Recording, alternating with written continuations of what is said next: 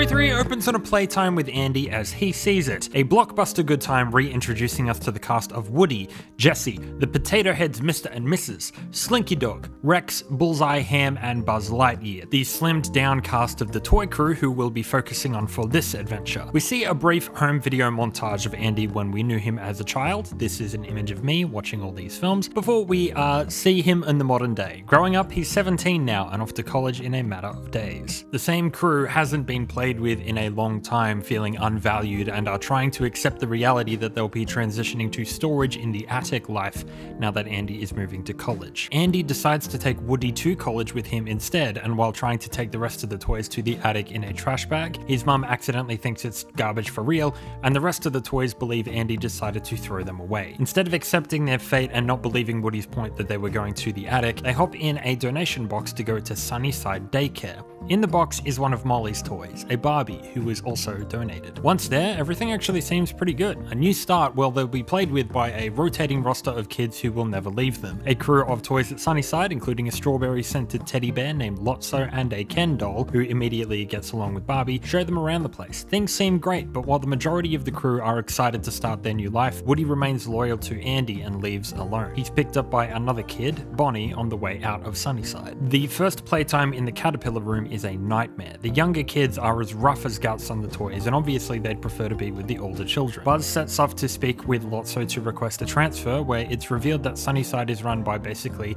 a gang like a prison. Lotso and Ken force new toys into the Caterpillar room, and those who survive get to stick around. To keep him in line, Buzz is reset to his demo factory settings, and Lotso uses him and the rest of his loyal toys to lock up the rest of the crew and force them to cooperate. They're trapped in Sunnyside. Woody has a great playtime with Bonnie and her crew of toys, but when it's revealed that he came from Sunnyside, the rest of Bonnie's crew tell him about its true nature and of Lotso's backstory. He was replaced by his owner Daisy and turned sour on the idea of a toy's life cycle at all, adopting this nihilistic worldview that they're all doomed. He took over Sunnyside and rigged the system, and Woody plans to help get everybody out. He gets back to Sunnyside and, with the rest of the help of the toys, plans a prison break. The prison break includes disabling a monkey security guard, getting Buzz back to the way he was by way of accidentally putting him on Spanish settings, and Mr. Potato Head using his pieces inside other materials, and making their way across the playground to the garbage chute. They're ultimately caught, but Woody unveils his knowledge of Lotso's former owner, Daisy. Ken changes his tune to plead for a better Sunnyside, and it looks for a moment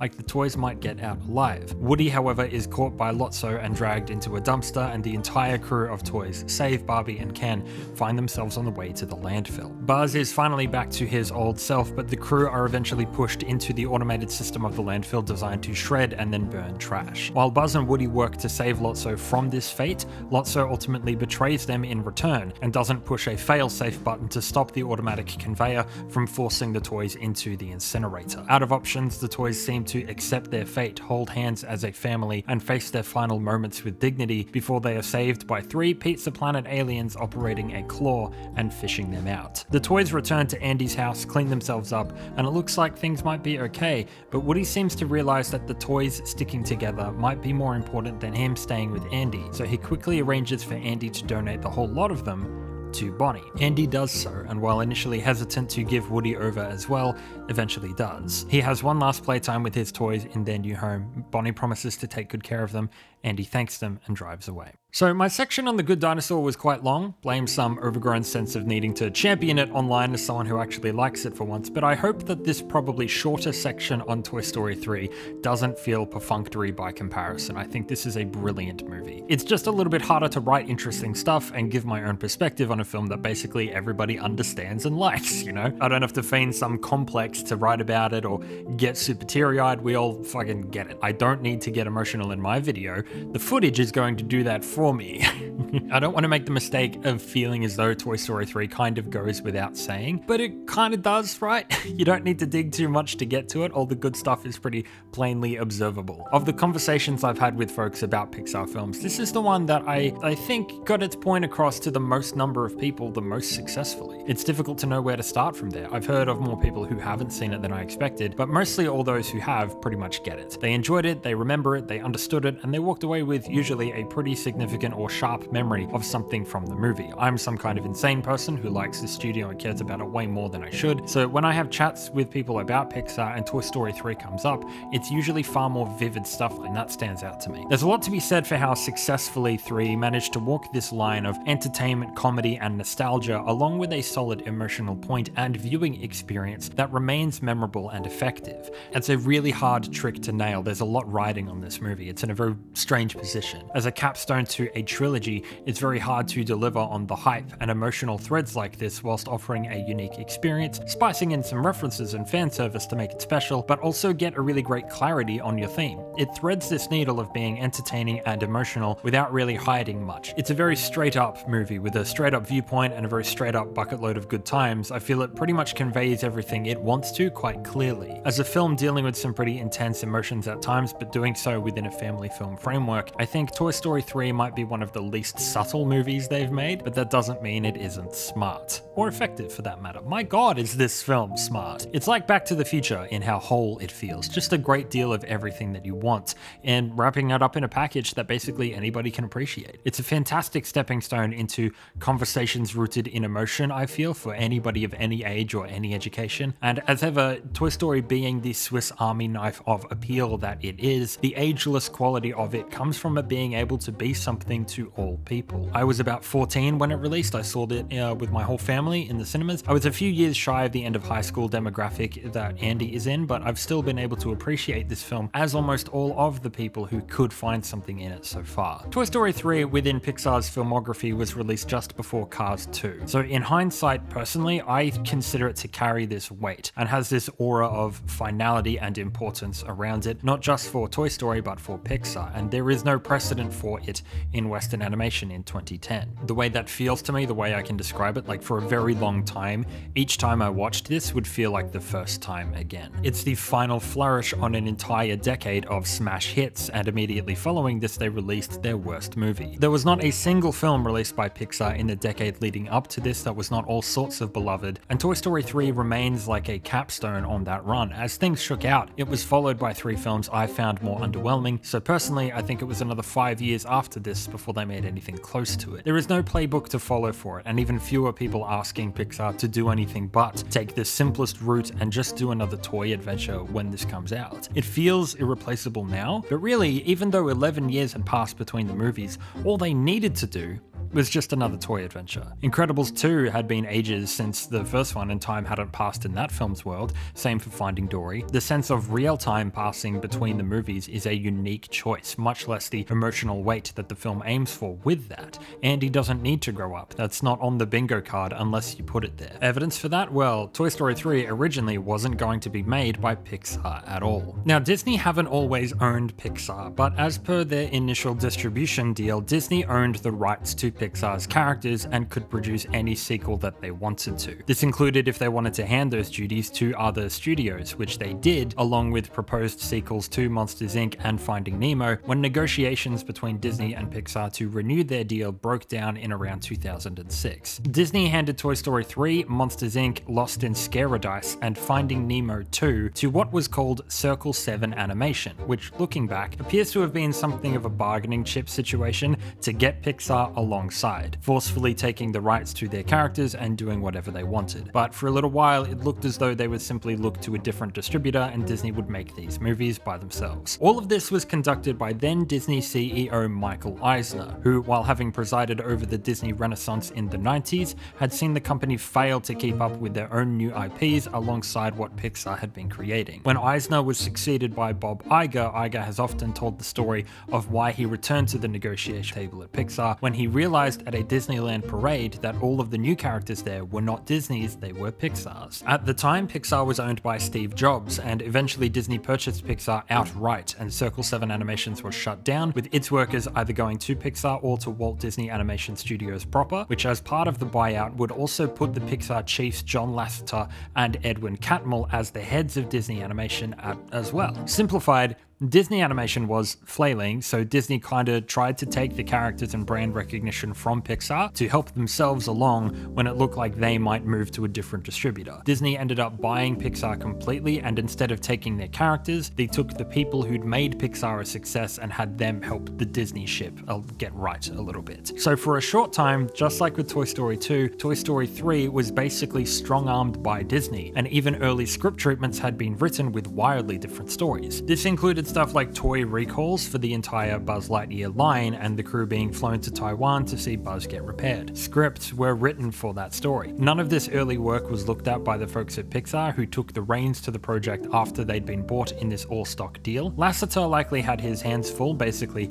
remodeling Disney's entire other studio, so Lee Unkrich stepped into the director's chair for Toy Story 3. The team started fresh and tried to find a way to make the Toy Story 3 they needed to make instead of the one they simply had to. The whole business side of Disney and Pixar is quite complicated and ugly, and for many, I'm sure, kind of rains on the parade a little bit. For as casual as I'm trying to make this series, none of these movies are pure, and I'm not deluded about that at all. I do plan on reading more about this once I finish this series. I'd like to feel more informed about these intricacies and the, how they've affected the studio's history, and they'll most likely re-inform my feelings again entirely, which I might make a video on in a year or two. I'm gonna watch that Bob Iger masterclass at some point with a big bag of salt. I will read Edwin Catmull's book. I will read further into how they handled the strikes last year. Uh, badly, Disney are bad. Obviously, I love these movies and think there's a great deal of artistry present, but greed and artistry are not mutually exclusive, so there's a lot of dicey extra stuff here that is really interesting to read about. But if anything, reading about these people and the situations behind the films always helps me get a better sense of the humanity in them, and I admire these movies even more for what they're able to achieve out of these kinds of difficult circumstances. I do think it's interesting to know that Toy Story 3 was apparently somewhat close to not only being an entirely different movie, but possibly being made by a like a different animation studio which no longer exists, and that the choice to make it kind of wasn't in Pixar's hands at all. The triumph is hiding that, is pulling what became an urgent,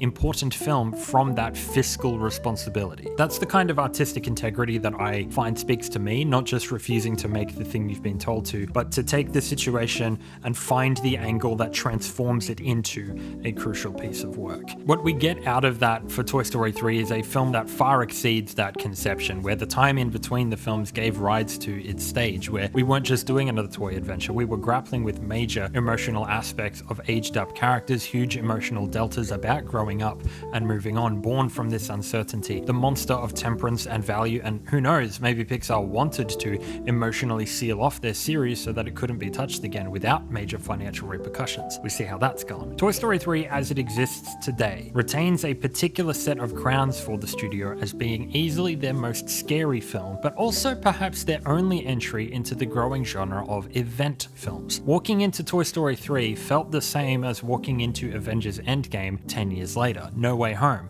walking into Avatar 2, brimming with fan service, but also just anticipation and genuine remixes and updates on the tried and true Toy Story moments that felt like a great escalation, but also capturing of what makes the series so enduring, yet shines with the glamour still entirely its own. There's an element of indulgence, but it doesn't overshadow the actual story here. Since it's built not only on the two prior films, but also the time in between and the love which filled it, this cannot be replicated very often. It's an opportunity you kind of need to set out to forge for yourself, but can't look as though you're doing that. Like you build the option to maybe someday be able to make this kind of movie, to tell this kind of story that you know will be seen by millions of people. And Toy Story 3 took that opportunity, one there wasn't a blueprint for, and went with it to places that remained startlingly daring. From the very opening, the authenticity of that playtime rockets me right back to childhood. Every line is a zinger, every character getting a save the day moment when all seems lost, somehow finding yet more and more reasons for everything to be a near miss or a quick escape or a big deal. You can tell parents probably really watched over their children for this part. It's such an explosive, emotive way to open the film that rings very true to at least how I played with my toys. Everyone is a hero, everything is desperate, the action never ends, everyone's surviving impossible odds by the skin of their teeth and last minute brainwaves. From there, Toy Story 3 is a film uniquely positioned to do away with character introductions. Really, the emphasis is being placed on Andy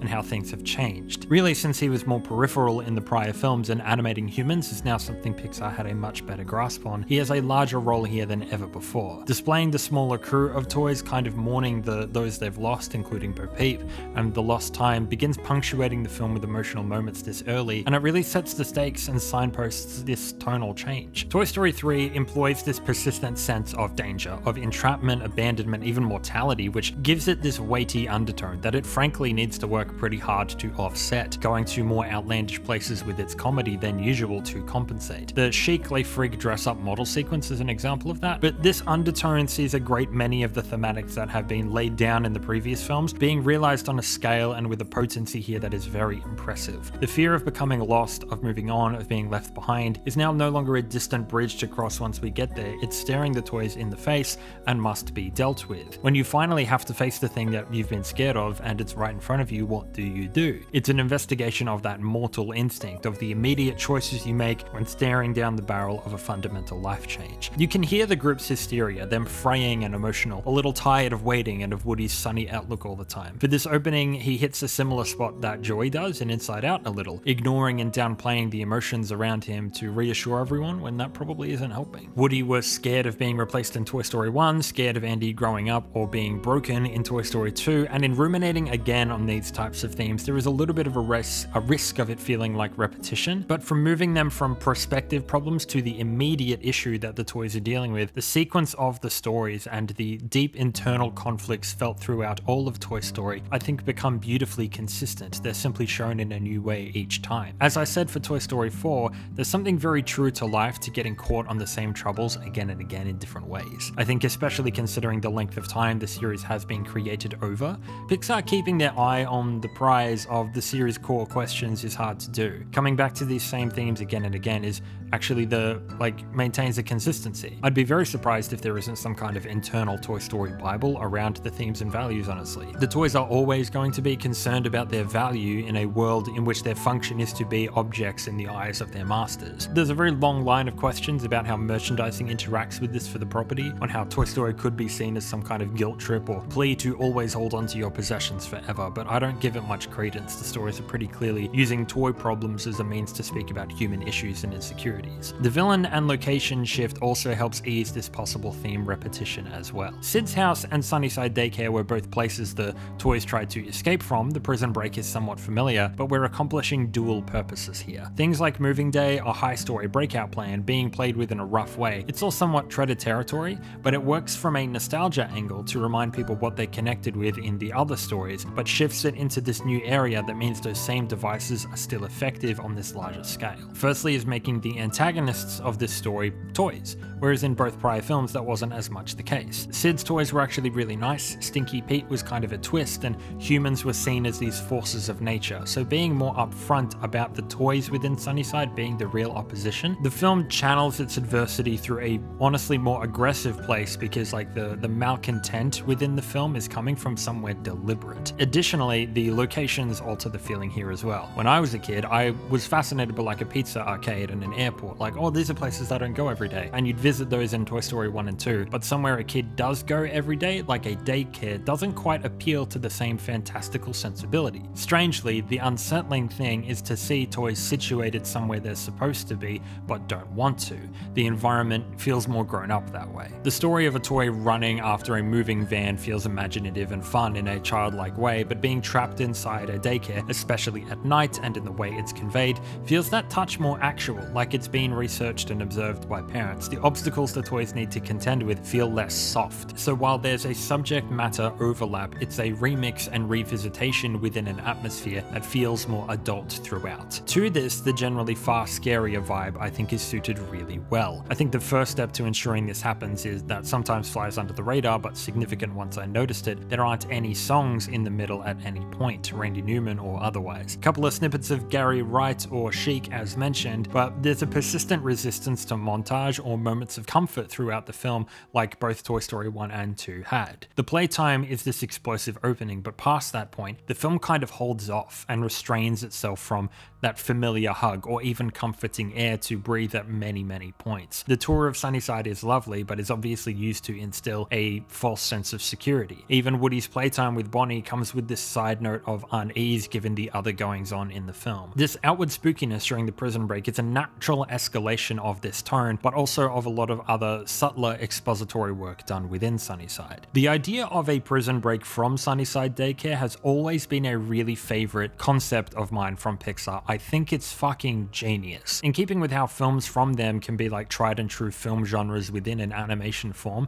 this is just such a classic place to go. Just like aging up the characters and the thematic punch up, the concept work for this film I think is deliriously strong. And just when I noticed, oh, it's a prison break movie, I, I just fell in love with this movie even more. But it's also an idea that arises really naturally within the story. There's these feelings of warmth and friendship and promise being used against you, a new beginning that gives way to this uneasiness, stealth, danger until we start using legitimate horror devices. The security systems that they'll eventually need to contend with is introduced slowly, but it also feels completely believable. Like it's a daycare, of course you can't have kids getting out. It's not some obvious setup to me, it's subtle and it builds over time. Andy's mom is buzzed in through the main door, so the first thing you kind of know about the daycare is that it's pretty secure. It's giving you a good idea of what the breakout scene will be like before you get to it by introducing the forces rallied against the crew.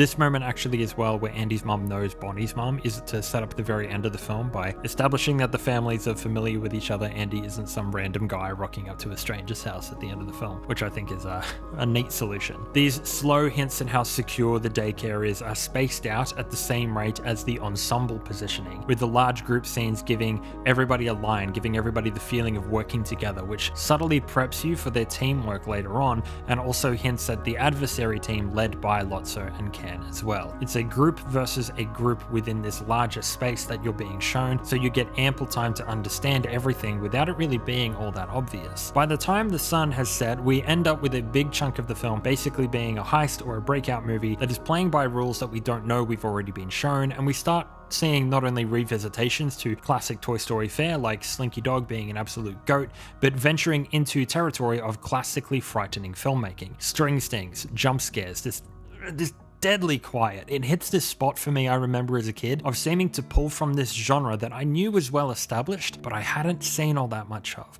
Obviously, there are some horror tropes like Big Baby turning around and stalking closer to Woody hiding under cover. It's like the Nazguls over the tree in um, Fellowship of the Ring, but the tone of it feels unexpected and it maintains this unique feeling within Pixar's movies because they've never come back to this. This is definitely an aspect of personal taste coming in where I just like a little more danger in these movies. I just complimented The Good Dinosaur on being a film that doesn't pull its punches. I'll do the same thing with Incredibles 2 on its thematics, but for Toy Story 3, at least for me, it always hit this scary spot in a very particular way that is loud and confident and defines the film a great deal. It's not just emotional in a make you cry way, it's got that edge of tension and actual scares, which helps those moments of love feel more earned and all the sharper. For this aspect alone of being their scariest film, even well before The Incinerator, I'd say Toy Story 3 more than earns a high place of reverence on this alone. The thing is that it manages this overarching tension during this prison break set piece, whilst each individual story is actually always quite funny and inventive. You've got Potato Head's concept being pushed with him inside of a tortilla, Barbie interrogating Ken, eventually fixing Buzz, Woody, and Slink, disabling security, getting the keys. Each individual branch presents its own jokes and fun within this larger mood of teamwork and spookiness, which manages to pull off some very extravagant jokes without the situation feeling any less dangerous somehow. That's really impressive to me. This is probably the most ensemble based Toy Story film, with a focus on Woody, of course, but it feels far more like a group affair than any of the others. This is helped by Lotso having his own crew, again, the presence of Barbie and Ken basically having their own storyline, Jessie and Potato Heads being pretty essential to the action as well, and with the particular element of Mrs. Potato Head's missing eye giving the toys a view into Andy's room when separated from him. Everybody's kind of playing a part. It makes sense that it would be a more group affair. It's dealing with a group of toys being left behind, and you get a great look at their individual emotional to that. This is all tricky from a visual standpoint though to use these older characters, since the aesthetic of this film is modeled on two movies that were built years prior and the tech advancements in between are quite significant. The majority of your cast are characters built and designed sometimes 15 years prior and with whom the audience is very familiar. There would have been an ability to absolutely leave the first two in the dust and totally update, overturn and abandon that style, but apparently Pixar held themselves back from doing that very deliberately. While with new toys like Lotso also being a fuzzy bear, like textures and weight that you can't create back in the day. The older toys from the original films were deliberately compromised so as not to be able to physically do things they couldn't do in the prior movies. Buzz Lightyear's eyebrows here had like three controls in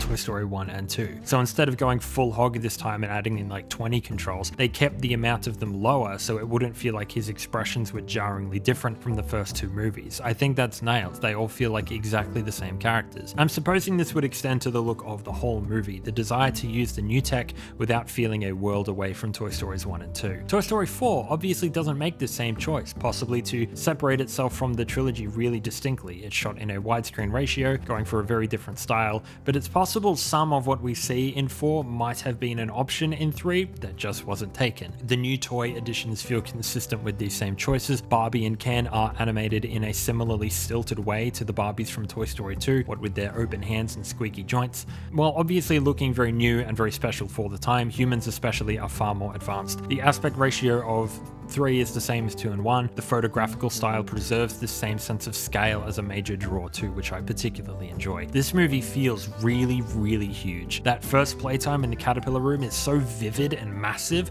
The landfill is gargantuan. The ultra close, ultra wide lenses, the way the daycare rooms are often shot very close to the toys or really wide from up high to preserve that feeling of size from any angle. The way color saturation and bloom lighting is used in the film works very hard to convey different feelings of safety or perception at any point of the of the film. And dissimilar from a movie like Up, where the color shifts in this really natural way, I think Toy Story 3 plays it a lot more extreme, with saturation or hues changing in sometimes the same environments in one shot.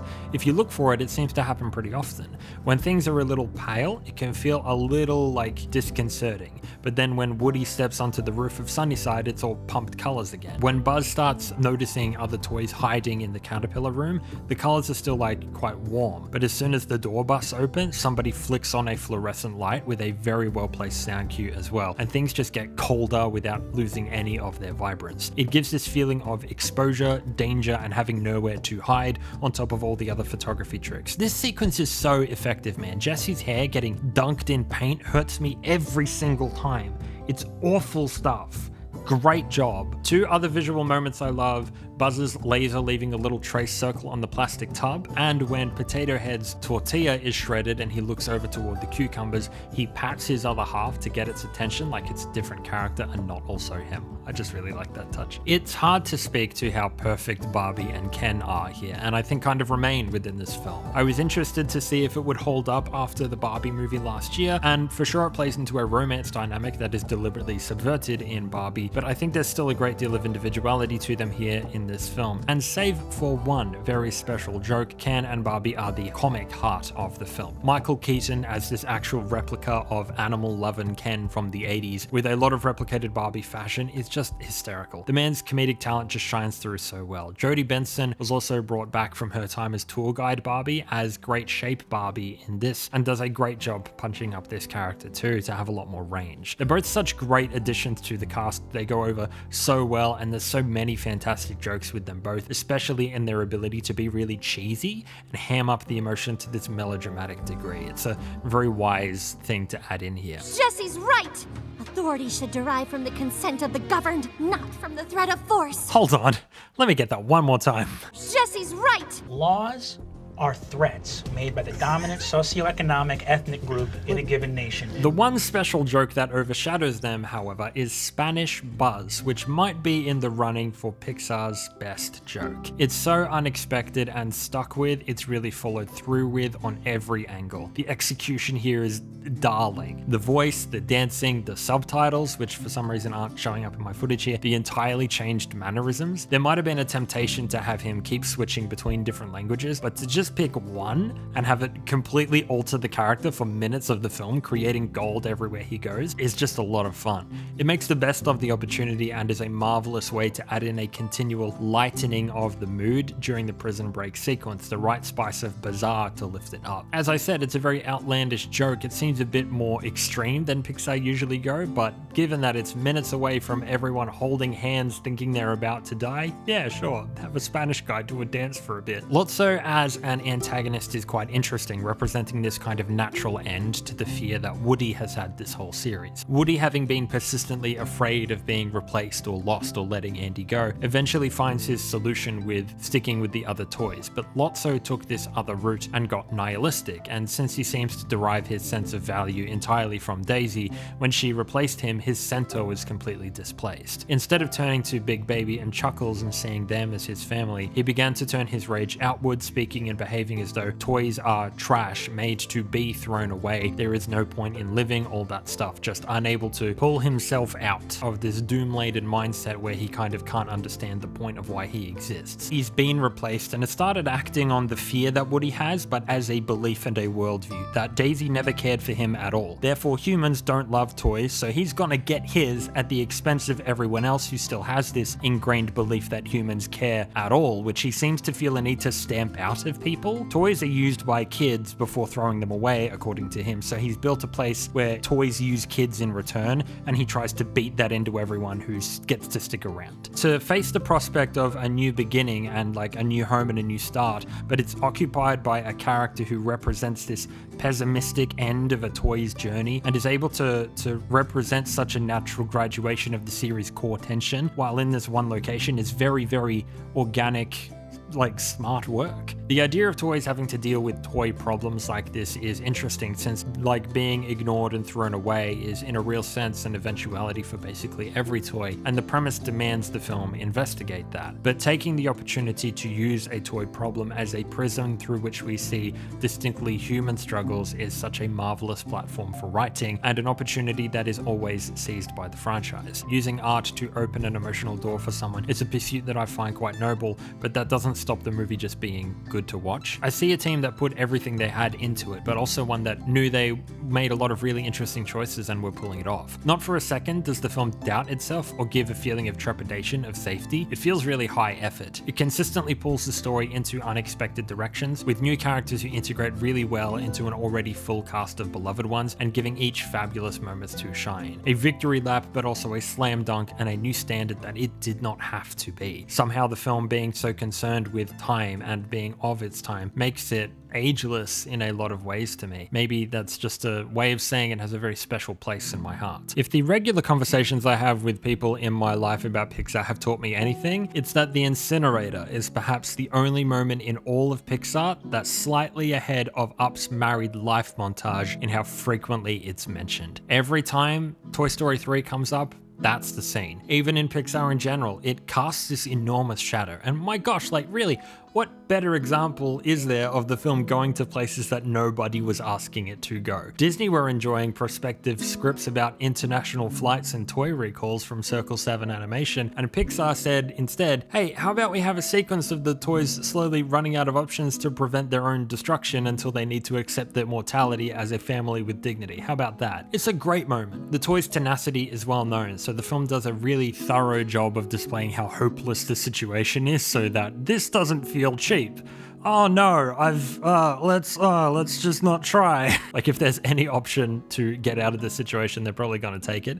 The bout they go through before this, showing how hard they've fought, really sells it, and is ultimately what seems to change Woody's mind that staying with the rest of the toys is more important than staying with Andy, someone who doesn't really need him anymore. The Deus Ex Machina claw is an interesting bit to chew on for me as well. Obviously, you don't want the toys to actually die at the end and have that be the end of the movie, but getting that that emotional point that they're going for here and then still having something of a peaceful resolution is a tough backflip to make. I think Toy Story 3 only gets away with it by a very slim margin. The reasons being that it obviously pays off jokes from both prior movies, as so it's a great moment of this nostalgia just pumped up a crazy amount, and what the actual device of a Deus Ex Machina classically is. In stories, a Deus Ex Machina is often a sudden, convenient solution to an impossible problem, but it literally translates from Greek to mean a god from the machine. So in by being so literal, paying off the claw as some kind of deity, I think it's just tongue-in-cheek enough to feel earned. In terms of pure emotion though, for some reason just like Bing Bong Sacrifice, I obviously agree both it and the incinerator are powerful scenes, but I've always felt a little on the outside in that the incinerator isn't the most memorable part of this movie to me. Of course I think it's affecting and extremely bold, something I never thought I'd see in an animated film and it's still arresting to consider that they not only pitched but followed through with. But when I think of Toy Story 3, I'm not thinking of the incinerator. I'm thinking of the final playtime and of Andy's mum walking into her son's bedroom and catching her breath. In terms of the incinerator's value within the story, I really have to give credit to the Toy Story 3 screenwriter Michael Arndt for illuminating why I don't really consider it the most memorable scene for me. It's puzzled me for a long time. I've always felt a certain way about it, but I finally found my answer. And I give him credit not just for writing a great movie along with everyone else at Pixar, but for actually doing a such a valuable and insightful video lecture of his own right right here on YouTube, where he goes through the major points of the screenplay of Toy Story 3 and speaks about what he learned as a writer over the various drafts. It's a fabulous watch if you have the time to look at it in regard to story structure. It's linked below. Absolutely go give it a watch. It's worth its weight in gold. I can't believe it's free on the platform. But he highlights that the climax of the film actually isn't the incinerator scene, it's Woody being handed over to Bonnie. The incinerator scene is a great moment of tension and rescue, but the reason I don't find it actually as emotional as a lot of other people, I think it's because it feels more connected to the characters than the actual story that we've been following. Arndt highlights that there are three sets of stakes really at any point of the story's major moments. There's Woody's persistent external conflict about whether he's going to stay with Andy or not. There's the internal larger question of whether Andy actually cares for the toys at all, and the philosophical question of whether the love between a child and a toy is real, given that all toys basically are disposed of eventually by their owners, which is challenged by Lotso's viewpoint. The reason I find the later part of the film more emotional than the incinerator scene is because the incinerator actually doesn't pay off any of those various threads. It's a moment of extreme external conflict about whether the toys will survive, but it doesn't resolve the film's larger questions about Andy's care for the toys or whether toys are actually cared for by children or not. We see the central tension of Toy Story 1, 2, and 3 paid off in the final scenes of 3, where this fear that Woody has of being abandoned or not being with Andy is resolved and he makes peace with it. Early and continual allusions to trash, landfill, etc. pay off as the film continually grapples with the idea of being put aside by someone you love or shifting into a new perspective on their life, taking your hands off the wheel, of no longer being of use the way you're used to being. While Toy Story is a series very well equipped to appeal to all ages, as obviously 3 did by speaking about college age kids at the end of adolescence, the way this real, deep theme connects to parentage is very significant. Andy's mum even while throughout the film encouraging Andy to move on, start his next journey, get packing, doing the parent things, eventually gives voice to what feels like the central ethos of Toy Story in its entirety. I know. It's just. I wish I could always be with you. It's the spirit and sentiment of the whole franchise captured in a single line. The sadness it contains, the longing, uh, but also the love and the gratitude and the, the nature of temperance. It's an idea that's been continually danced around, not just in the stories, but in the writing and the songs of the movies up until now. When I heard it the first time and every time since, I am struck by its succinctness and inevitability. It's as if the thought of this is powering every moment of these movies right under the surface, but you don't find the words for it until just just then. You can get close, it's like right in your peripheral the whole time, trying so many other ways to see if any, any other words are the right fit. You've got a friend in me. I'll have Buzz Lightyear to keep me company for infinity and beyond. When somebody loved me, everything was beautiful. You can stay with us and last forever. Oh.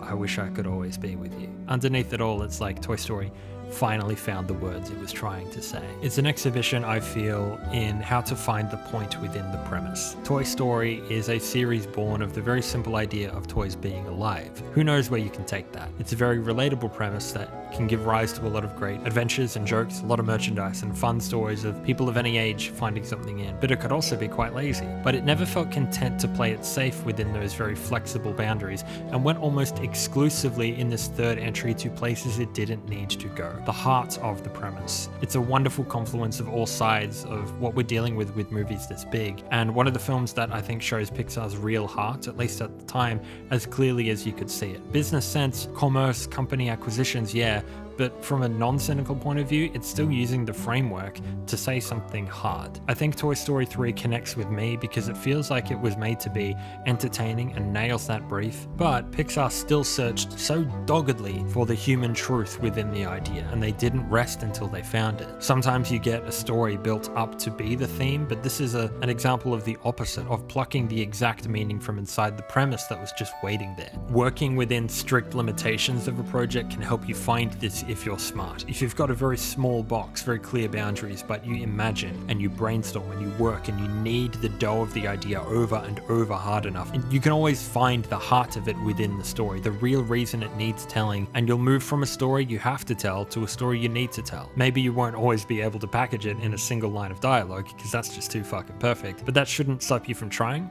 Whenever I get a brief, I try to work it over until I get to the heart of it all, the real goal that I'm searching for, the actual thing I'm trying to express, the reason it's worth connecting with. And Toy Story is my blueprint for that. To find that I wish I could always be with you and deal with that from multiple viewpoints with so many characters giving alternative looks and reactions into that beautiful central stem, you get an evergreen flower of a story. Maybe Woody had his eye on the wrong people. Maybe Lotso wasn't able to deal with it and manufactured this hollow version of perpetual love while punishing everyone to make this happen, beating everybody down until they agreed. Maybe Buzz had it right all along. Toy Story 3 is smarter than cheap emotion. It's more than its best moments. It's quite simply one of the most impenetrably perfect sequels ever composed because it's so strongly connected to the heart of the premise in as many places as can be, whether that's for entertainment value or for the emotional content. And I can't ever help it. I watched Toy Story 3 with my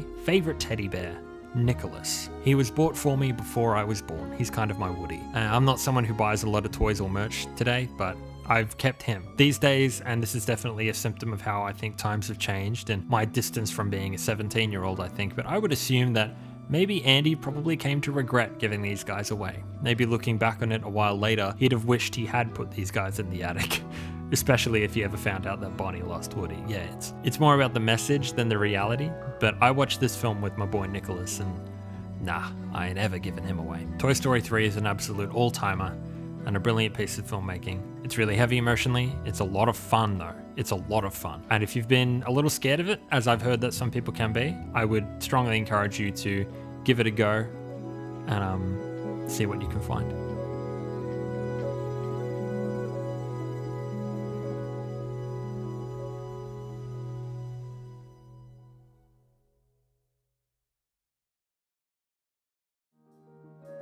Everybody, thank you so much for joining me for another episode of Pixar Quality. For the number four entry, that means we've only got three movies left to talk about, except for the five ones they made after their 25th year. We're not talking about like anything past Luca, so there's only three movies left. What order are they gonna be in? Subscribe to find out. Hit the like button on this video as well if you enjoyed it, that helps me out. Share it with your friends. Share it with your friends.